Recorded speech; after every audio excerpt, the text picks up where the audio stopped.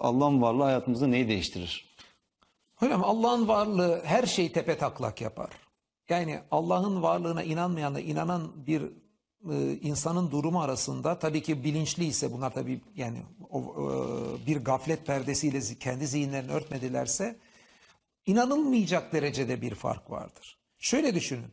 Allah'ın varlığına inanan kimse kendi hayatının amacını bulmuştur. Yani kendi hayatının amacı Allah'la ilintili bir şekilde vardır. Ben neden buradayım sorusunun bir kere cevabı vardır onda. Ayrıca nereden geliyorum sorusunun cevabı vardır. Allah'ın yaratmasıyla gelmiştir. Nereye gidiyorum sorusunun cevabı vardır. Ahirette hesap vermeye doğru gidiyordur. Yani bir yokluğa doğru gitmiyordur.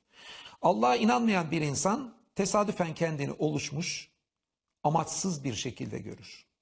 Ve acı son, hayatın son perdesi geldiğinde yokluk karanlığına doğru gidecektir. Daha evvel de birçok sevdiği yokluk karanlığına gitmiştir. Onlarla sonsuza dek buluşması imkansızdır. Kendisinin de yokluk karanlığına gitmesiyle arkada e, hiçbir zaman buluşamayacağı sevdiklerinden ayrılacaktır. Çok sevdiği bedeninden ayrılacaktır. Yani inanmayanın durumunu ben hep şeye benzetiyorum. Yani şöyle uçsuz bucaksız bir çöl. Adeta orada çölde kuyunun içine atılmış biri. Kuyunun üstü kapkaranlık hatta kuyunun üstü de kapatılmış. Onun içinde bir insan hiçbir ümit yok, hiçbir şey yok gibi bir durum var. Böyle bir durumda. İnanan bir insan içinse asıl olan hayat ahiret hayatıdır. Bu dünyada ne sıkıntı olursa olsun, ne olursa olsun sonuçta ahirette daha iyisinin olması ihtimali vardır. Yani bu dünyadaki hiçbir sıkıntı, mutsuzluk çok abartılacak bir şey değildir. Çünkü dünya hayatı ahiret hayatına nazaran çok önemli değildir. Burada varoluş bir gayelidir. Bizim kendimizi bildiğimizden bizi daha iyi bilen bir Rabbimiz vardır. Bu biz yani hiçbir zamanda tam yalnız kalmayız. Rabbimiz bizi her zaman bilir. Her zaman ona yönelebiliriz.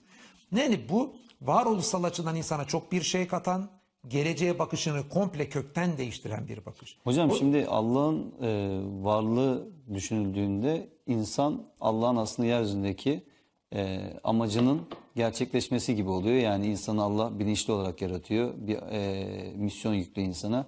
İnsanın bu dünyada var olmasının bir anlam ve amacı var.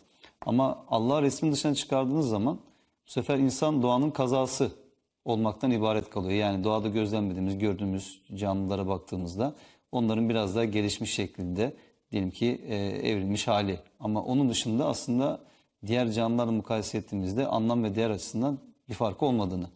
Daha da Biyolojik kötü. bir makineden ibaret. Daha da kötü. Niye? Çünkü diğer canlıların zihninde çok uzun bir geçmiş ve çok uzun bir gelecekle ilişki kuracak yetenek olmadığı için değil mi? Anlık genelde gördüğümüz kadarıyla canlılar rızkını toplamaya çalışıyor. Güdüsel davranış. İnsansa evrenin başlangıcına kadar milyarlarca yıl geriye doğru ileriye doğru sonsuzca bir zaman olacak diye bunlar üzerine böyle soyut düşünebiliyor.